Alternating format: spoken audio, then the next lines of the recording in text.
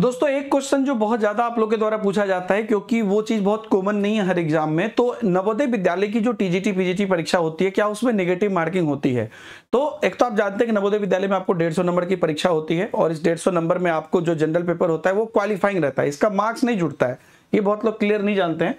Negative marking के बारे में मैं बता देता हूँ, ये there will be negative marking for wrong answer one by fourth mark will be deducted for each wrong answer ठीक है मतलब चार क्वेश्चन गलत हुआ तो एक नंबर कटेगा। तो नेगेटिव मार्किंग आपको नवोदय में रहता है और एग्ज़ाम आपका दो लेवल पे होता है। एक तो सीबीटी आपका ऑनलाइन एग्ज़ाम होगा और उसके बाद आप जो है इंटरव्यू के लिए पात्र होते हैं। फिर सेकेंड लेवल पे आपका इंटरव्यू लिया जाता है। ठीक है, बाकी आपका टीजीटी के लिए भी और पीजीटी के लिए भी डेढ़ नंबर का होता है।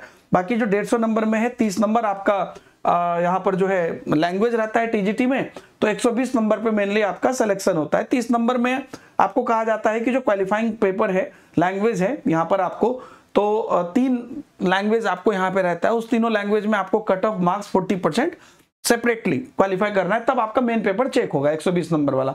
और फिर इसका होगा सेम चीज़ थोड़ा सा पीजीटी में डिफरेंस होता है। लैंग्वेज दो ही रहते हैं ट्वेंटी मार्क्स का। इसमें भी फोर्टी फोर्टी परसेंट जो है आपको कवर करना है। तब जाके आप उसमें आप क्वालिफाई होते हैं ठीक है?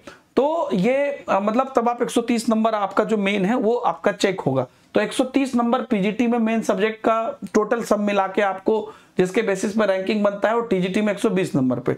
30 नंबर आपको टीजीटी में क्वालिफाइंग का होता है और उधर 20 नंबर पीजीटी में। बाकी नेगेटिव मार्किंग होता है। बाकी आप लोग अभी जुलाई में आपको जैसा कि आप जानते हैं कि फॉर्म आपको बढ़ाना है 15 जुलाई से 15 अगस्त तक। 30 सितंबर को एग्ज़ाम होगा अब तो हर साल ही होगा।